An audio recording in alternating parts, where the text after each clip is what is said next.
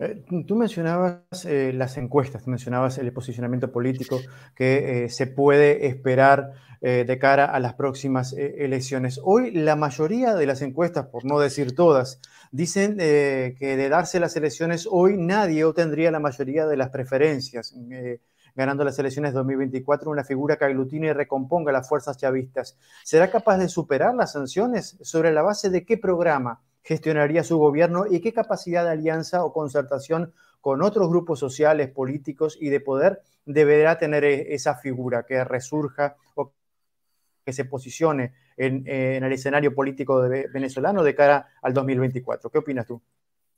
Mira, si volteas hacia la oposición, la oposición en Venezuela, eso es un desierto, eso están ahorita todavía en muchos conflictos internos, muchas divisiones, están ahorita en un proceso de, creo que yo, de recomposición a través de una elección primaria que les permita, del cual buscan que surja un líder que permita no solamente aglutinar su propia fuerza, sino eh, convocar a las fuerzas chavistas del país, reconociendo, como te digo, que hoy día el presidente Chávez sigue siendo el político que más convoca al pueblo.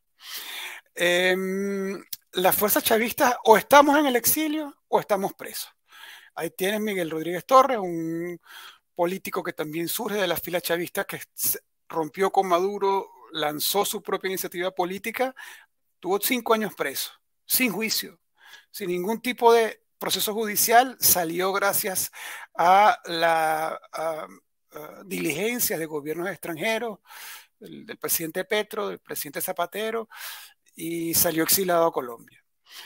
Y bueno, y así tenemos muchos, están muchos personas que acompañaron eh, en cargos directivos, en, cargos de gobierno con el presidente Chávez, que están hoy exilados, te digo, o, eh, cumpliendo cárcel. Entonces, la, Maduro persigue el chavismo porque el chavismo es la única fuerza política que le puede realmente disputar el poder. Hemos visto que la oposición no, no, no, no termina de ser una opción para el pueblo venezolano.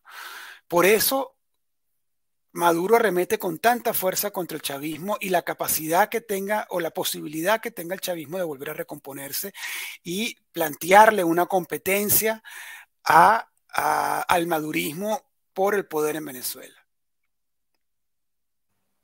En este, en este contexto, entonces, eh, ¿cómo consideras tú que eh, se pueden o se podrían llegar a reagrupar estas fuerzas que se identifican o, se, o reivindican no solamente el discurso, sino también la obra del gobierno de Chávez, vista estas condiciones que tú presentas, ¿no? Una fuerte confrontación a la interna de Venezuela, una presencia eh, en el exilio importante de dirigencia eh, que estaba o se identifica con, con el chavismo y una población que está prácticamente intentando sobrevivir en base no solamente a, los efectos de las eh, sanciones, sino también de todos estos golpes que le han eh, propinado al erario público a través del de, eh, desvío de recursos del Estado hacia fines que se están investigando o no se tiene claro todavía. Bueno, hay una iniciativa del presidente Petro de convocar a diversos actores internacionales que de alguna forma permitan crear unas nuevas condiciones de reiniciar el diálogo político para que el ejercicio de la política pueda volver a, un curso normal en Venezuela. Es decir, que tú puedes hacer política y no te lleven preso, que no te pongan preso tu mamá, que no te, te, te, pongan preso una tía, un primo, como ocurre hoy día con el gobierno de Maduro, que ha hecho de la DGCIM, la División de Inteligencia Militar, una fuerza represiva y violadora de, los derechos humanos que ha conculcado los derechos políticos en Venezuela. Yo creo que ese tipo de iniciativa del presidente Petro quizás pueda lograr alguna normalidad en el ejercicio político que permita que el chavismo pueda regresar al país para estructurar una propuesta política distinta a la que el madurismo representa tenemos muchas esperanzas cifradas en que esa negociación del presidente Petro pueda dar fruto y pueda incidir en el proceso o en el retorno del proceso democrático, en la recuperación de la democracia en Venezuela, sobre todo de cara a las elecciones del 2024. ¿Hay en este momento eh, algún tipo de canal abierto, directo o indirecto entre eh, personas como tú u otros referentes del chavismo dentro o fuera del país que tengan contacto con factores del gobierno para poder adelantar mínimamente algunos diálogos o estos canales están totalmente cortados? Totalmente cortados, por lo menos yo no los tengo. No sé si otras personas lo tendrán, pero yo no los tengo. Y eh, en, la misma dirección, en la misma línea de idea, te consulto con respecto a el diálogo que hay entre las figuras que se han, eh, bueno, que han salido de Venezuela y que reivindican el proyecto eh, chavista como una opción válida para, para Venezuela. ¿Hay diálogos que se están llevando adelante como para poder articular este retorno al gobierno, retorno al poder? Los que estamos en el exilio estamos todos articulados, nos comunicamos de forma permanente elaboramos opinión, sabes, hacemos lo que podemos, pues lo que es la, actividad política posible desde el exilio. Em, ahora, sí, como te digo, cada quien está en una realidad y, no es que estamos todos en un solo sitio. O sea, yo vivo en Alemania, hay otras personas en España, otros están en Colombia, otros están en República Dominicana, otros están en Estados Unidos, otros están en Italia. Entonces, digamos, con las particularidades propias de lo que, implica coordinar todas estas personas que están, que no, que no comparten un mismo espacio geográfico, eh, pero que tenemos toda la intención y tratamos de alguna forma de ejercer sobre todo lo que podemos hacer, que es tratar de, influir en la discusión pública en Venezuela. ¿Cuál es, eh, cuál es eh, lo que mejor que le puede pasar o que debería pasarle a Venezuela en los próximos meses, en los próximos años, para poder que Maduro este renuncie, este que Maduro renuncie, que el madurismo sea derrotado. Venezuela no va a poder salir de la crisis que tiene, que lleva una crisis muy prolongada, de más de 10 años, una crisis humanitaria brutal, una, un, un, flujo migratorio que no cesa. Ya llegamos a 7 millones 200 mil. La condición necesaria primordial para que Venezuela pueda superar su crisis y pueda recomponerse como un Estado y una nación es la salida del poder del madurismo. Es, la primera condición necesaria para que Venezuela pueda superar su, actual coyuntura de desastre, de tragedia. Andrés Izarra eh, está o se posiciona o tiene pensado incluir eh, su nombre dentro de eh, un posible listado de personas para eh, ocupar cargos de gobierno en un próximo mandato? No, Víctor, ya yo pasé por eso. Yo creo que ya yo cumplí mis tareas cuando fui convocado por el presidente Chávez. Tuve 12 años acompañándolo, yo creo que ya es suficiente para cualquiera, pero sí me gustaría tener la posibilidad de volver al país y, de colaborar desde la posición que uno pueda tener, que no tiene que ser un cargo público ni, ni, inclusive un cargo político, ¿no? sino colaborar como un simple ciudadano a que Venezuela recupere el camino de la democracia y, el camino de la, de la senda del crecimiento y la recuperación económica. Bien, eh, Andrés, te propongo em, eh, poner foco con respecto a la realidad de, eh, la población hoy en, Venezuela. Bueno, que no, que no, es de hoy solamente, sino que se arrastra desde un largo tiempo hacia atrás. En lo que tiene que ver con lo que podemos considerar como la desinstitucionalización de Venezuela. Me refiero a las acciones de Estado paralelo impulsadas desde la época de Chávez, en el caso de las misiones, los protectores, o quitar a gobernadores electos para llevarlo al Ejecutivo, torciendo en cierta medida la voluntad electoral de los ciudadanos.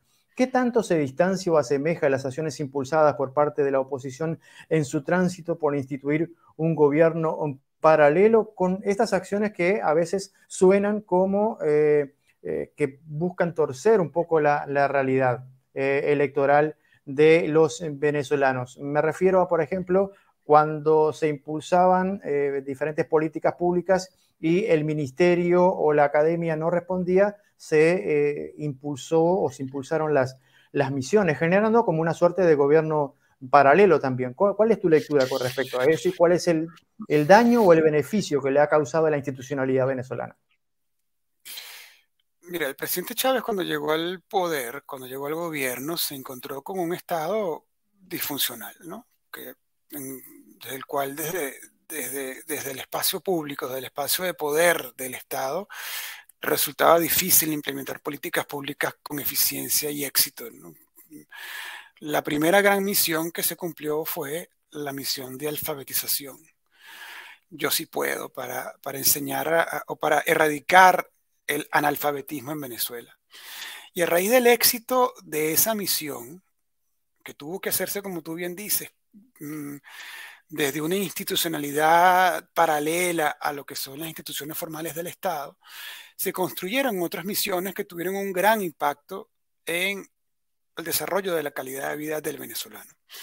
Sin duda alguna, el próximo paso para esas misiones, una vez que, tuvieron el éxito que tuvieron en, el desarrollo de la calidad de vida del venezolano, me refiero a las misiones de salud, a las misiones de, de, em, educación, porque no solamente fue la de la lucha contra el analfabetismo, sino luego hubo otras misiones para, la, para, para conseguir grados de primaria, de, secundaria, eh, se multiplicaron el número de universidades en el país, en fin. El, el, el, paso pendiente de esas iniciativas políticas era su institucionalización, obviamente. Pero bueno, el presidente Chávez se murió y luego vino Maduro que traicionó. Entonces eso, eso fue un proyecto truncado. Ahora no, no tenemos ni una cosa ni la otra, porque no hay misiones, no hay política de desarrollo, de impulso o de apoyo a, la calidad de vida de, la población. Al contrario, lo que se ha sustituido son, son medidas neoliberales de entrega de la soberanía. Vemos cómo han entregado el petróleo, cómo, cómo se roban los productos del petróleo. Es decir, estamos ahorita en un desastre. Esto es un desastre, es una tragedia que no, no, no tiene se pierde, pues digamos, la dimensión de la tragedia eh, eh, eh, producto de la desinstitucionalización. Pasamos ahora, sí, ¿verdad?, que a una situación de, Bueno, la situación es tan grave que los maestros el sueldo de los maestros no le alcanza para pagar el transporte público que los lleve a dar clases a sus escuelas. Hoy Venezuela está semi paralizado porque muchas escuelas no están eh, eh, eh, ofreciendo clases porque los maestros no pueden llegar a la clase. Y asimismo, en esa misma situación tenemos a, otros empleados del Estado, con lo que la parálisis, digamos, de los, de los servicios que ofrece el gobierno es muy grave. Pues. Eh, Andrés, eh, en uno de tus eh, más recientes escritos, titulado La vida en la verdad, de Argenis y Alfredo, tú deslizas unas pinceladas que ilustran parte de la realidad jurídica de Venezuela de hoy, en un contexto donde la coerción institucionalizada se ha generalizado y para acceder a una cédula, a un servicio público o una jubilación, hay subterfugios activos que mediante un pago te resuelven la situación. ¿Cómo se recompone ese tejido social y la seguridad jurídica que todo Estado debe garantizar a sus nacionales y a los extranjeros que pretenden negociar o hacer vida en el país, Andrés? Bueno, eso es un gran reto, tiene que ver con la reinstitucionalización del país. Pero bueno, primero hay que recuperar la democracia, luego el Estado de Derecho. Y a partir de que tú tengas un sistema político funcionando de manera regular, digamos, como, como funciona eh, eh, eh, la gran mayoría del mundo, se puede comenzar a recomponer la institucionalidad venezolana al cual el madurismo le ha hecho tanto daño. Claro, te consultaba esto porque eh, eh, lamentablemente, quizás tú tengas una percepción diferente, pero por lo menos la percepción que uno tiene eh, de haber vivido varios años en Venezuela y luego seguir la realidad venezolana, tiene que ver con que estas acciones de corrupción mayor a nivel del alto gobierno se trasuntan en, acciones de supervivencia prácticamente de la gran mayoría del ciudadano común, del, militar en los puentes, en Sí, la policía. Del funcionario. Exacto, exacto. Entonces, estamos hablando de un tejido social. Claro, muy, muy, muy dañado porque es que la corrupción pasa a ser una forma de vida, porque si no la gente, ¿cómo hace? Con sueldos de miseria. Es el salario en Venezuela se vino, se vino al suelo, la capacidad adquisitiva es, Venezuela es el país más pobre de América Latina hoy. Venezuela está por debajo de los niveles de pobreza que recomiendan Naciones Unidas. Es decir, es una tragedia humanitaria lo que vive el país. No podemos dejar de preguntarte con respecto a este, bueno, tan sonado, lamentable caso de corrupción que inclusive ha llevado eh, a la, presentar la renuncia por parte de Tarek El Aizami a eh, el Ministerio de, Industrias y, Petróleo. En lo que tiene que ver con este caso en, en, particular, ¿cómo consideras que eh, se posicionan las fuerzas de, de, la oposición, del chavismo y del gobierno para hacer frente a esta situación. Tú mencionabas en una entrevista que mirábamos hace poco tiempo atrás que esto no era una lucha contra la corrupción, sino era una lucha de bloques de poder dentro de los factores del gobierno. Eh, ¿Tú te sostienes en esta, en, esta idea? ¿Cómo se resuelve entonces esta situación si no es una lucha del Poder Judicial contra la corrupción o del gobierno contra la corrupción, sino un choque de bloques de poderes dentro del gobierno? Es que esto no es ninguna guerra contra la corrupción, esto es una guerra de los factores del madurismo contra uno de ellos. Fíjate que todos los presos, todas las acciones judiciales van contra los miembros de uno solo de esos grupos. No hay ninguno de los, otros grupos que ha sido tocado en sus intereses. Y curiosamente, de los puestos donde han sido desplazados este grupo que ha sido atacado, de Tarek El Aizami, han sido ocupados por personas de los otros dos grupos. Es decir, que si tú ves lo que ha ocurrido a raíz de todo eso, te queda claramente este, definido lo que en Venezuela está ocurriendo con esta guerra interna de, de la mafia, porque este, este, es un gobierno mafioso y se comporta como tal. Es un gobierno un, Estado compuesto por grupos de mafia y, resuelven sus conflictos internos como lo estamos viendo actualmente. Eh, eh, eh, es curioso, digamos, que, que la oposición venezolana haya tenido una posición o una, un pronunciamiento tan tímido de lo que estaba ocurriendo, ¿no?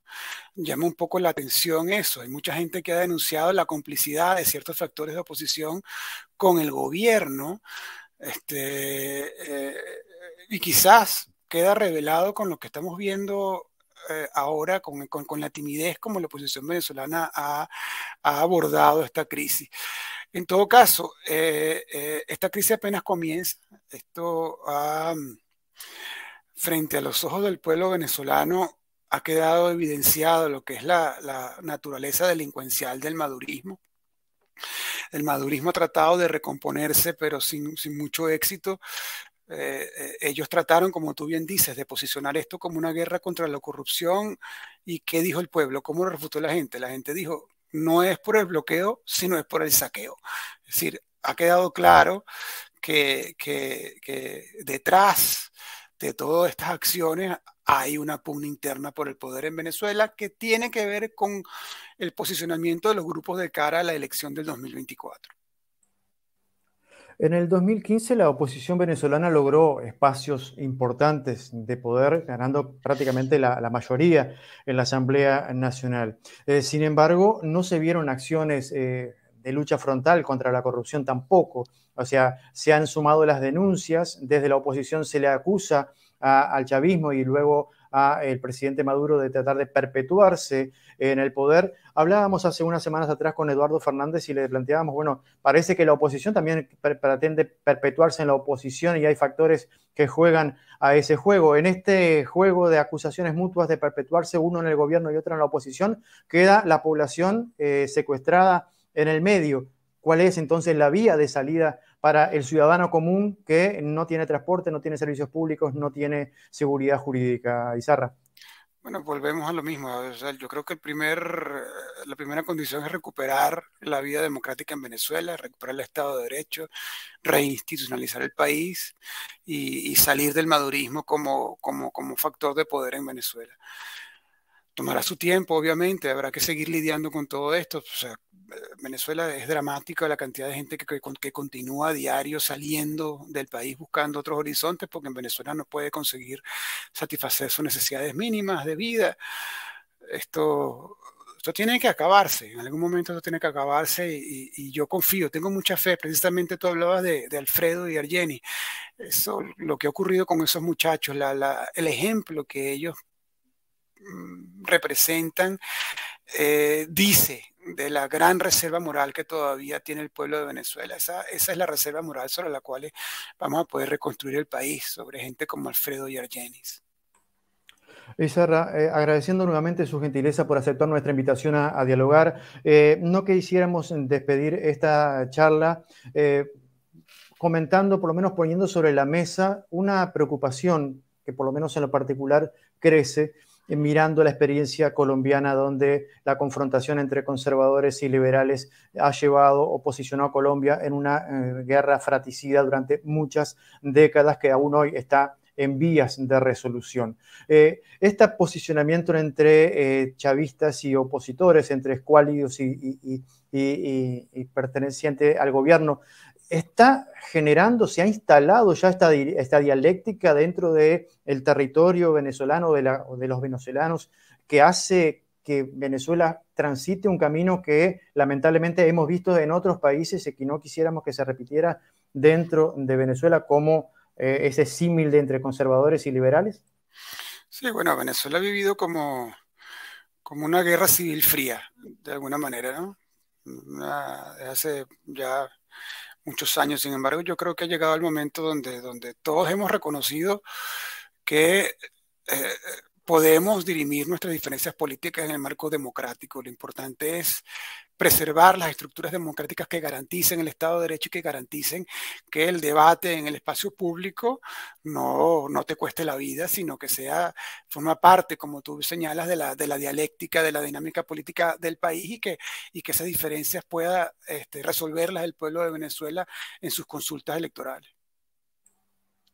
Andrés eh, Izarra, ex ministro de Comunicación y de Turismo de Venezuela. Nosotros le agradecemos muchísimo su amabilidad y gentileza para atendernos en la jornada de hoy. Eh, quisiéramos, eh, bueno, abrir, dejar abiertos los micrófonos para aquello que considera que es imprescindible, que no quede afuera de esta charla y que no le hemos preguntado aún. No, igual, agradecerte por el tiempo y, la oportunidad de aclarar a una audiencia internacional que quizás no entienda muy bien la dinámica un poco eh, extraña, absurda que, ocurre en la política venezolana.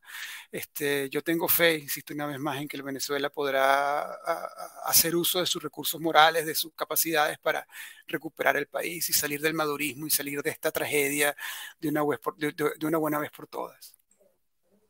Andrés Izarra, una vez más, muchísimas gracias para con nuestro proyecto y que tenga una buena jornada y una buena semana. Gracias a ustedes.